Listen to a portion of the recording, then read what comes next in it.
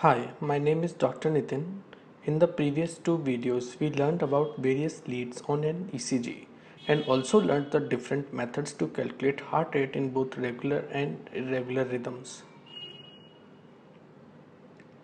We learned how to calculate heart rate using small boxes, how we can use large boxes to calculate heart rate, and if rhythm is irregular, we can use the 6 second method.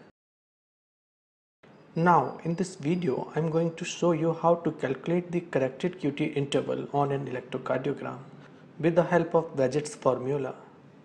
Bazett's formula is the most common method used for calculation of corrected QT interval.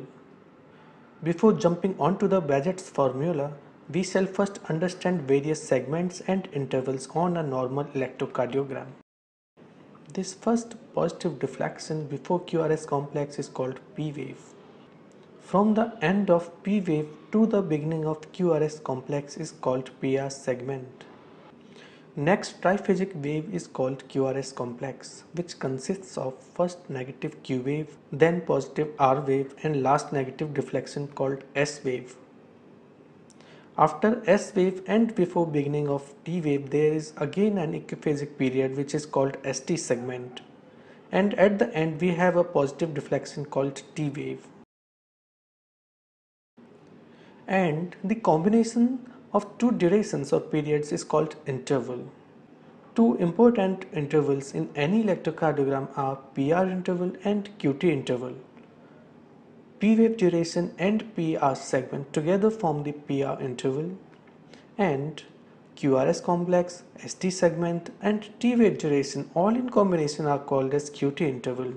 The important point to remember here is that measurement of QT segment starts from the initiation of QRS complex.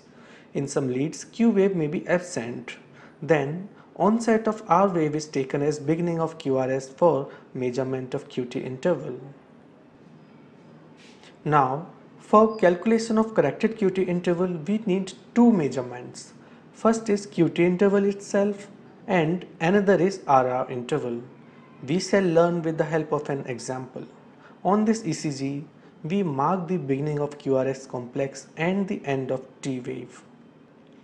This will give us the QT interval.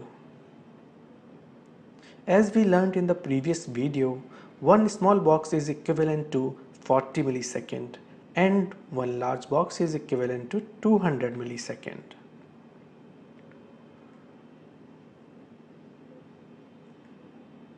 In our case, there are approximately 8 small boxes, so QT interval will be 40 into 8 that is 320 millisecond or 0.32 seconds. Now we mark the peaks of two consecutive R waves which will give us the RR interval. There are approximately 4 large boxes between two R waves. So RR interval will be 200 into 4 that is 800 millisecond or 0.80 seconds. Coming to the Bazett's formula, it states that corrected QT interval equals to the QT interval in seconds divided by root of RR interval in seconds. In our case, QT interval is 0.32 seconds and RR interval is 0.80 seconds. So corrected QT interval will be 0.360 seconds or 360 milliseconds. This was a simple method to calculate corrected QT interval on an ECG. Now I know there are some more questions like what is normal value or more accurately normal range of corrected QT interval. Which lead is the best to calculate QT interval out of all 12 leads of ECG? What is the need to calculate corrected QT interval? What are the other methods to calculate corrected QT interval? The conditions in which QTC becomes abnormal. If you are interested in answers of these questions, you can watch the next video on this channel. Thank you for watching this video. Have a great day.